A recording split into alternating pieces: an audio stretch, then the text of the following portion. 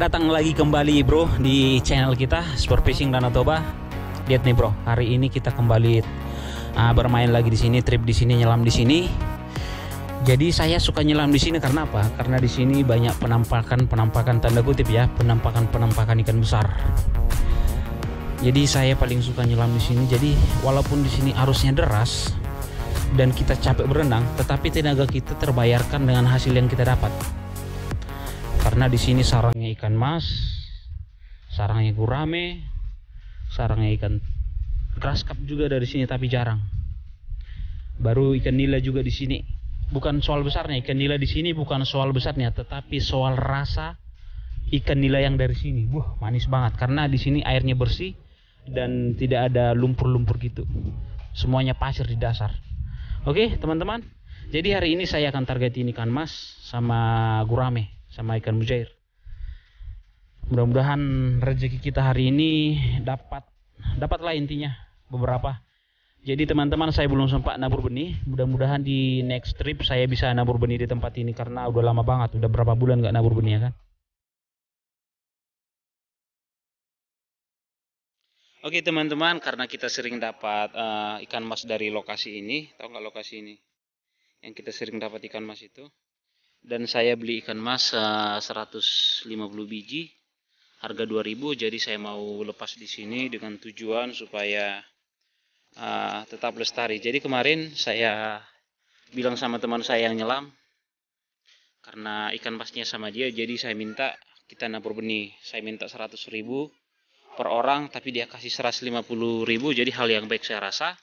Jadi saya juga nambahin 150 ribu jadi ini bibit harganya 300 ribu hari ini. Kita beli dengan tujuan supaya tetap lestari. Oke teman-teman.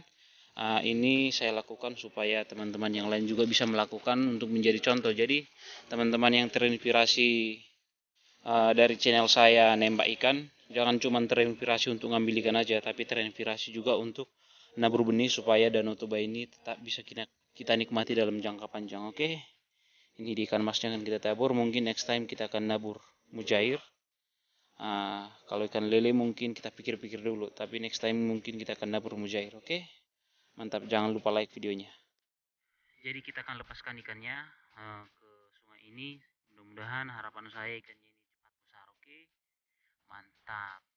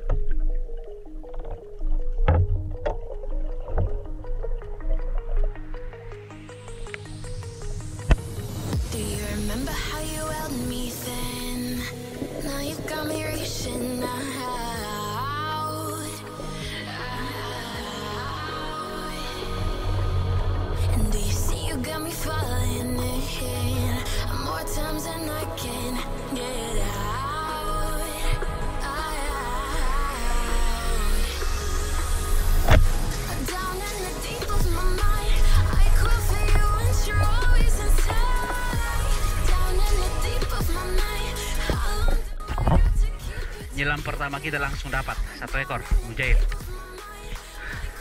Seperti yang saya bilang tadi, mujair dari sini manis-manis banget karena dasar dari sungai ini pasir semua, nggak ada nggak ada lumpur. Jadi rasanya manis dan baunya nggak nggak bau lumpur.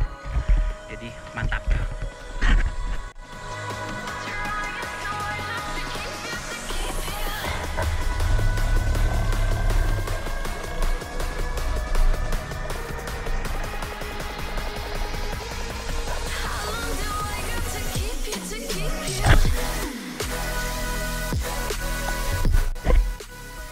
teman-teman lihat sendiri tadi ikan kalau ikan mujair lumayan lah banyak tapi masih ukuran setengah kilo. Jadi saya ambil yang kalau contohnya muncul yang besar baru saya tembak. Ini kita udah ikan kedua nih. Ikan kedua ikan mujair. Mantap.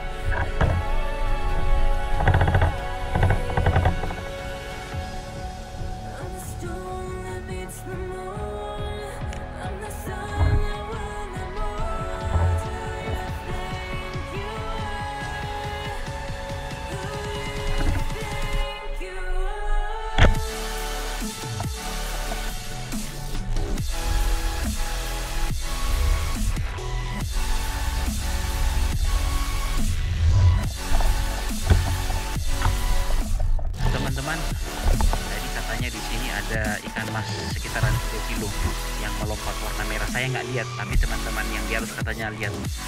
Tapi setelah saya nyelam jadi ikan banget hampir 2 kilo nih ada mungkin. Ikan masnya tetap kita cari. Tadi ada ikan. Tetap kita cari pokoknya ikan masnya mudah-mudahan kita ikan mas. Oke kita lanjut tetap saksikan video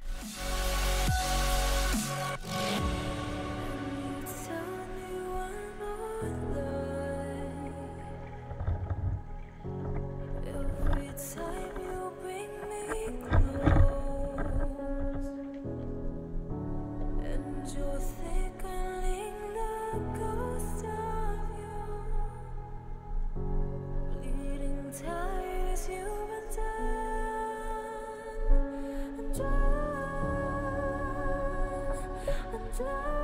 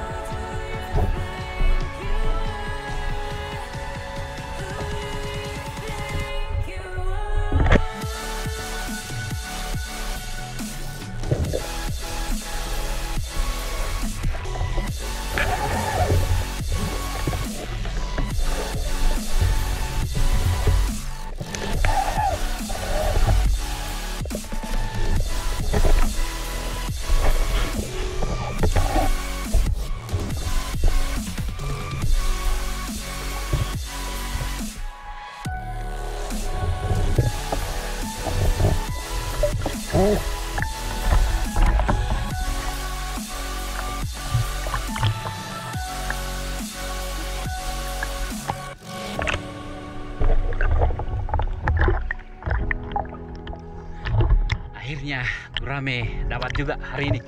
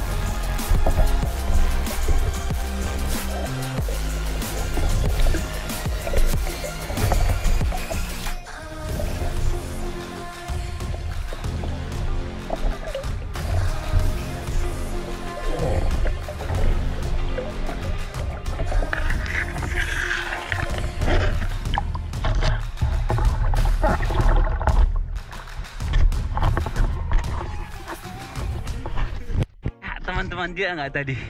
Dia hampir lari dan saya langsung shooting dan kena mungkin ini sekitaran 5 lah 5 ke atas. 5 lebih sedikit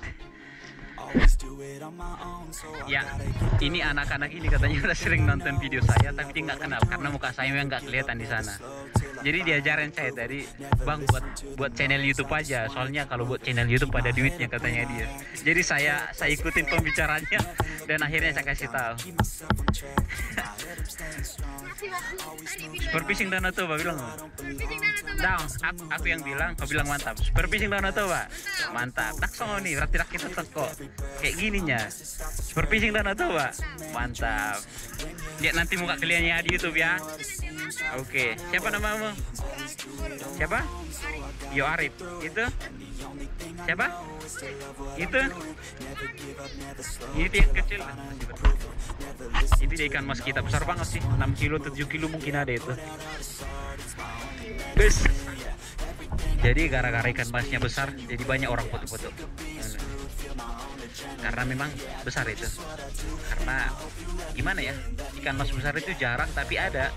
harus berani ngambil risiko ke tempat yang ekstrim lah kalau kita semakin besar risikonya ya hasilnya juga ya besar ya begitulah kalau kita berbisnis juga kan begitu kalau kita buat modal yang besar pasti risikonya kalau bisnis itu berhasil ya untung gitulah kalau nyari ikan besar harus ngambil ke tempat yang dalam ke tempat ekstrim ya hasilnya ya gitu lumayan oke Ya hasil hari ini ada beberapa mujair.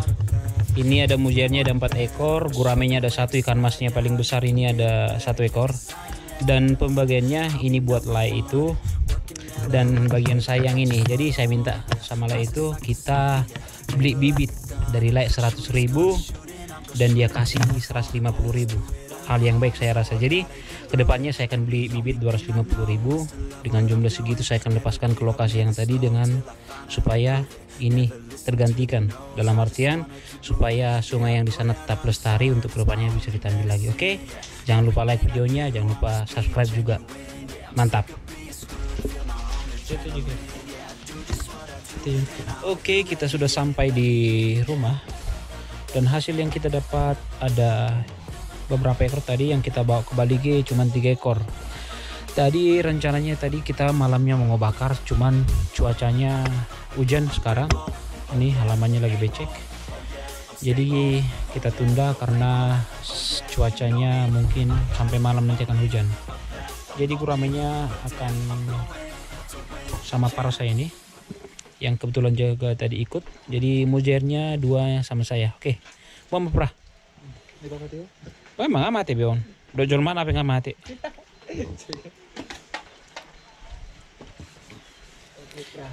Itu mungkin ada sekitaran mungkin 2 kilo, nggak nyampe 3 kilo. Oke oke, lanjut pra, mantap.